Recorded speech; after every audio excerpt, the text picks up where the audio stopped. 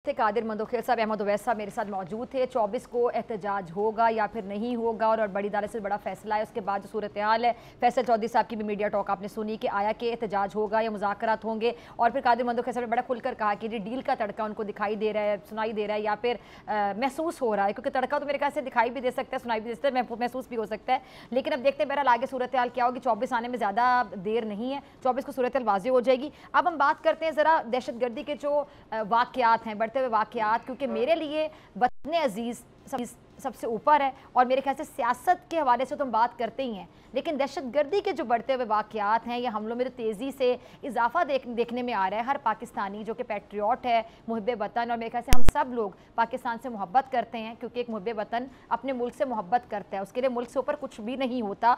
सबसे पहले Pakistan definitely exactly तो दहशत गर्दी के जो वाक़ात हैं, उस पर हर पाकिस्तानी परेशान भी है, और हर कोई दुआ गो भी है कि जो वाक़ात हैं, इनको रुक जाना चाहिए। रोकथाम की तरफ़ जाने चाहिए। अच्छा इसमें हम देखते हैं कि जी, बन्नू जो है, उसको खासकर टारगेट बनाया जाता है। रवा बरस जुलाई में बन्नू छावनी पर खुदकुश हमला हुआ था और गुजशत रोज़ भी आपको पता है कि खुदकुश हमला हुआ है और बन्नू को खासकर खासकर टारगेट क्यों किया जाता है? दहशत गर्दों के टेररिस्ट के हिट लिस्ट पे बन्नू क्यों होता है? इसके साथ मैं आपको ये भी ज़रा बता दूँ कि दो बरसों में दो हज़ार वाक़ात हुए, जिनमें तीन हज़ार सात सौ अट्ठावन अफराद अपनी जाने गवा बैठे हैं। अब बड़ा सवाल है कि इसे कैसे रोका जाए? इन वाक़ात को रोकना बेहद ज़रूरी है। और एक मामला है जिस पर तमाम लोगों को, तमाम सियासी जमातों को, सबको एक पेज पर आना होगा, क्योंकि ये मुल्क का सवाल है। दहशत गर्दी के वाक़ात को रोकने के लिए क्या स्ट्रैटेजीज होनी चाहिए, क्या कुछ होना चाहिए?